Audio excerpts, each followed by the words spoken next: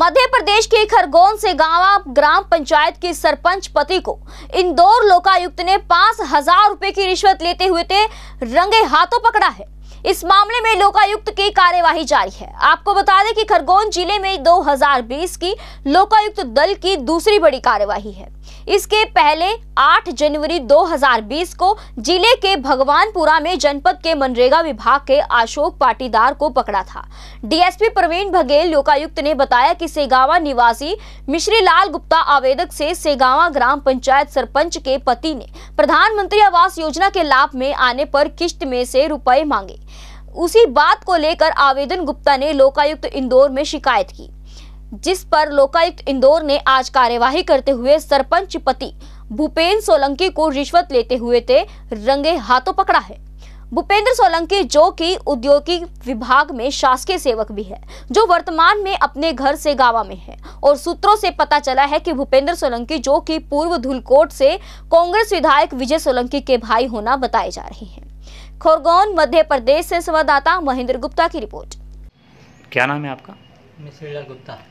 गुप्ता जी क्या मामला है? आपने शिकायत लोकायुक्तों में थी किस ले बात को लेकर शिकायत की गई थी आपको?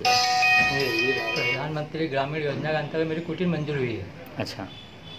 एक लाख पैंतीस हज़ार। हम्म, तो इसमें इस संबंध में सर- सरपंच साहब ने मेरे रिक्वेस्ट करी थी पैसे संबंध अच्छा।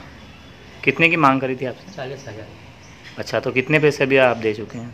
मैंने मैंने मैंने कहा मैंने कहा अभी मेरे पास नहीं है पहली किस्त मिलेगी उसमें मैं आपको दे दूँगा। हम्म, हम्म, हम्म, तो मैंने पहले दस हज़ार पाँच हज़ार दे दिए थे पाँच हज़ार आज दिए। तो मैंने कहा बाकी दूसरी किस्त में और फिर हमारा सुबह हुआ कि फाइनल हुआ कि तीस हज़ार फाइनल कर देंगे। फिर तीन हज़ार में हमारा तीस हज़ार फाइनल हुआ। तीस हज़ार। जी। तो मैंने कहा एक किस्त अभी दस दस हज़ार दे दी पहली किस्त में दस हज़ार दूसरी किस्त में दे दूँगा। जी। और तीसरी किस्त मिले उसमें और दे दूँगा तीस ऐसा। बस। तो इसको लेकर आपने लोकायुक्त में कब शिकायत करी थी? ये आठ तारीख। अच्छा। अच्छा इसमें सरपंच कौन है वहाँ पर? उनकी है। मिसेस है। अच्छा। ये क्या विधायक के भाई भी हैं क्या? हाँ, विधायक के भाई। कौन विजय विधायक? सोलंकी। पूर्व विधायक। विजय सोलंकी। अच्छा उनके भाई हैं ये। हाँ। आ, सर क्या कार्रवाई है सर इसमें? ये खरगोन ज़िले के सेगांव तहसील की सरपंच हैं संजना सोलंकी। इनके पति भूपेन्द्र सोलंकी के द्वारा आवेदक मिश्रीलाल गुप्ता हैं। उनका आवास योजना में जो है, प्रधानमंत्री आवास योजना के अंतर्गत आवास स्वीकृत हुआ था, जिसकी एक लाख पैंतीस हज़ार की राशि उन्हें स्वीकृत हुई है। तो आवास योजना की जो स्वीकृत राशि थी, उसके एवज में चालीस हज़ार रुपये की रिश्वत की मांग उनके द्वारा की जा रही थी।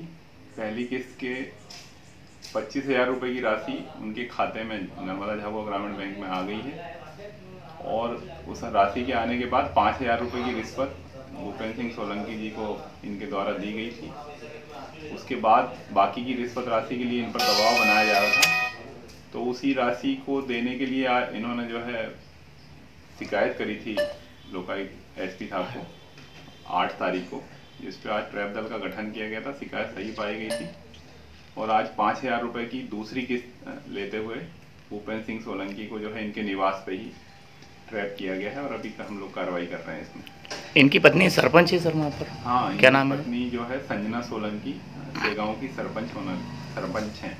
अच्छा ये जो आरोपी है ये पूर्व विधायक के भाई भी बताए जा रहे हैं और कोई विभाग में कार्यरत भी हैं सर ये? हाँ ये जो अभी हमें ज्ञात हुआ है कि ये जो उद्यान विस्तार अधिकारी हैं बड़वानी में इनकी पदस्थापना थी। इन्हीं के अनुसार बताए अनुसार ये इनका कहना है कि इनका ट्रांसफ़र अभी यहाँ से भिंड हो गया है। मेडिकल कारणों से अभी इन्होंने ज्वाइन नहीं किया है। क्या पूर्व विधायक के भाई हैं सर ये ये अभी आप कह रहे हो तो पता करता हूँ पूछते हैं ये वाली बात भी। जी। JBD Banquets लाए हैं incredible marriage palace Rajgharana and the finest banquet hall Jyoti Garden.